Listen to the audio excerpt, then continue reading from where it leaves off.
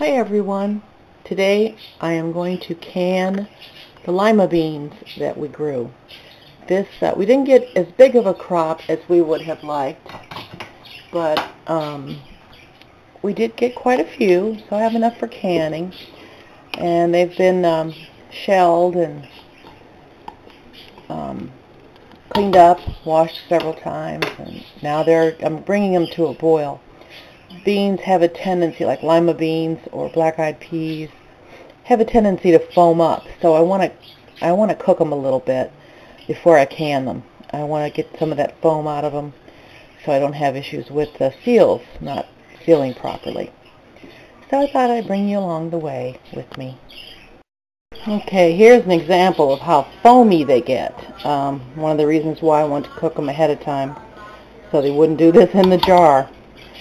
So what I'm doing now is bringing them to a boil and then I will have my jars ready and everything and what I'll do is scoop them into the jars and pressure can them at about 10 pounds of pressure for about 40 minutes and then um, all our limas will be out of the garden and into the jar.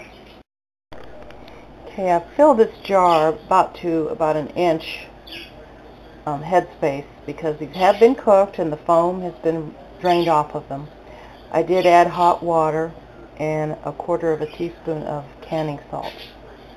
So now all I'm going to do is get my lid, pop it on there, switch hands here for a moment, get one of my lids, pop it on, get my ring, finger tight, which I'll tighten after I go off camera.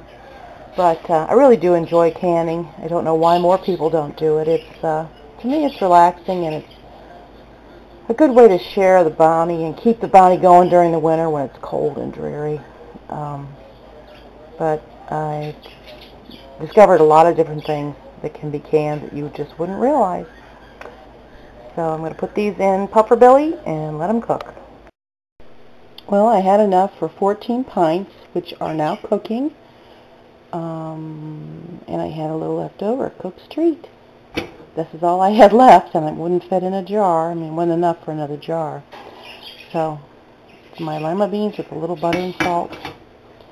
I'm going to enjoy them.